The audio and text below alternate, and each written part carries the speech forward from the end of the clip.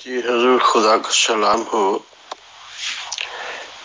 ये जो आपने देखा है जर्मन, ये इसका नाम था हदायतुल्लाह ह्यूबिश। ये फ्रैंकफर्ट में रहता था और ये वाकई जो हुलिया आपने देखा और जो उसकी उम्र थी, उसके मुताबिक ये बिल्कुल वैसा ही था। और ये शायर था और ये राइटर था जर्मन में ये किताबें लिखता था और ये जमात अहमदिया का ये एक्टिव मेंबर था। फ्रैंकफर्ट में ये रहता था। मैं इसके घर गया हूँ और ये अच्छा आदमी था। इसकी दो बीवियाँ थीं। पहली बीवी फौत हो गई। उसमें से एक बच्ची थी इसकी और दूसरी बीवी भी इसकी कादियान से थी। और उसके उसमें से भी इसके दस बच्चे थे। तो जहाँ तक मैं इसको जानता हूँ और आपने जो हुलिया बताया, ये बिल्कुल दुरुस्त सारा बयान ही आपने देखा। तो अच्छा एक्टिव मेंबर था और दूसरा जो है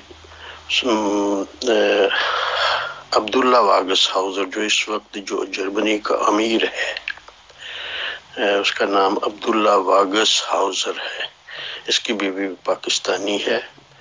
तो ये जो कुछ भी आपने देखा है ना, ये बिल्कुल दुरुस्त देखा है। तो यही मेरे पास भी इनकी इंफॉर्मेशन थी। तो जो मैं आपको दे रहा हूँ, इनके सही नाम ये थे। तो बहुत बहुत शुक्रिया।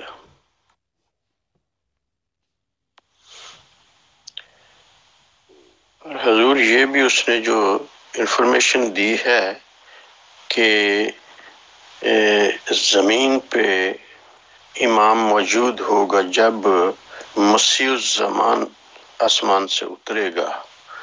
तो उस वो उसकी मौजूदगी में पहले इमाम मौजूद होगा और वो उसके पीछे जैसे इन इनकी हदीसें हैं कि हदी, वो पीछे नमाज़ पढ़ेगा। तो आप भी उस वक्त मौजूद थे।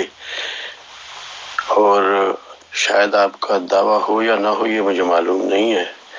लेकिन आप मिर्ज़ा ताहिर को मिले उस वक्त वो भी ज़िंदा था।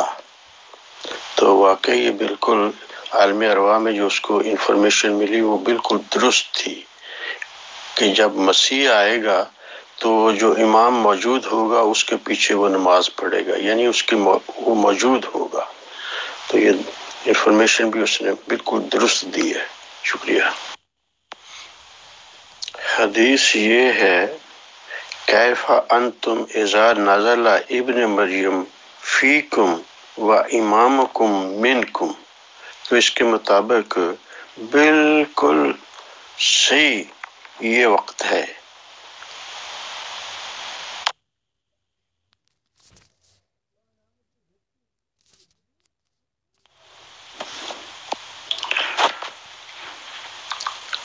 रात अताउल्ला हुब्श। मुझे नाम याद नहीं आ रहा, यही है अताउल्ला हुब्श। जिसने किताबें भी लिखी हैं? और अब तो खैर वो मर गया। कल रात उससे मुलाकात हुई दरमियानी दुनिया में तो एक बिल्कुल ऐसा समा था जैसे।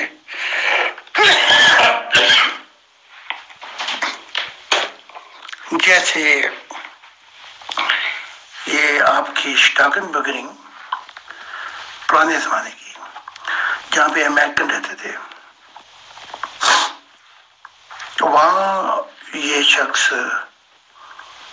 मुझसे मिला और मुझे अपने अपार्टमेंट में भी लेके गया। तो कहने लगा कि एक मुलाकात जो आपसे हुई थी, और मैंने कहा था कि कुरान की रूह से अम्बिया की हिफाजत की और वो कत्ल नहीं हुए तो आपने मुझे बाइबल का हवाला दिया था कि याया को कत्ल कर दिया गया था। फिर मैंने देखा तो वो बिल्कुल ठीक था। फिर आपने ये जो मिर्ज़ा ताहिर चौथा खलीफा था, इसको कहा था कि जो असल क्यामत होगी वो आलम अरवाह में होगी। उसका वक्त किसी को मालूम नहीं, किसी नबी को मालूम नहीं, ना फरिश्ते को, उसका इलम खुदा को मालूम है। फिर आपने ये भी बताया था कि ये जो ज़मीन की टूट फूट है, ये पचहत्तर करोड़ साल अभी और लगेंगे।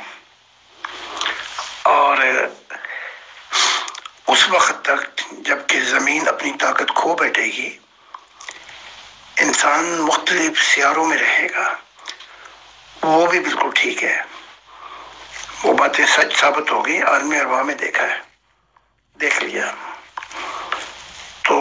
कहने लगा कि मैं आप पर ईमान लाना चाहता हूँ। तो बहरहाल बैत की। तो अपने जिस अपार्टमेंट में लेके गया था वो भी आ, साफ़ था। तो वहाँ मैंने देखा कि कोई यूरोपियन औरत है जिसके साथ अब इसका ताल्लुक है। जमात अहमदिया को छोड़ बैठा है। तो मैंने अहद लिया, बैद की। कहा, आपने बिल्कुल सही कहा था।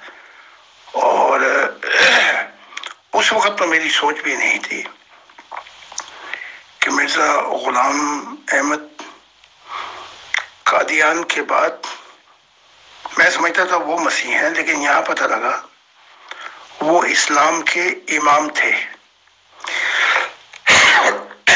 जिसकी खबर दी गई थी कि तुम्हारा इमाम तुम में से होगा। तो ये बताना था मैंने आपको। तो क्योंकि आप इस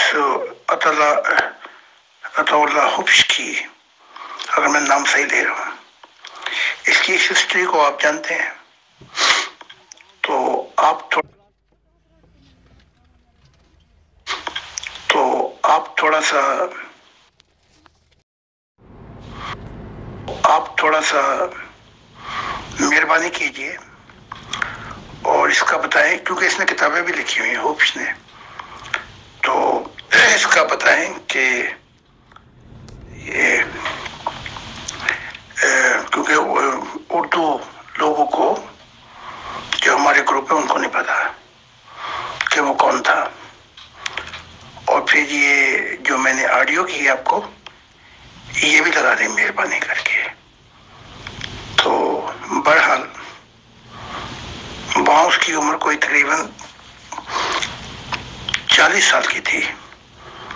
और चेहरा थोड़ा सा थोड़ा सा चेहरा थोड़ा सा टेढ़ा था, लेकिन बहरहाल रंग साफ़ था। बाकी आप बता दें कि वो कौन था तफसीलात के साथ? क्योंकि आपको तफसीलात की खबर है। और उसके बाद ये बाद में ये आया था जो आप कहते हैं कि बंगश कौन है ये? खुदा हाफिज़।